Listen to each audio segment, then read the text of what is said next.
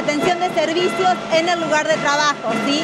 O sea, vienen todos los compañeros de los edificios externos al edificio central a hacer la medida de fuerza que es retención de 10.30 a 13.30 hoy y mañana por la fecha de cobro. Miércoles, en el caso de que no haya un adelanto, el retiro sí, ahí es efectivo a las once y media cada uno a su casa. Hay una propuesta que es insuficiente por parte del Superior Tribunal de Justicia en lo que tiene que ver con la recomposición salarial.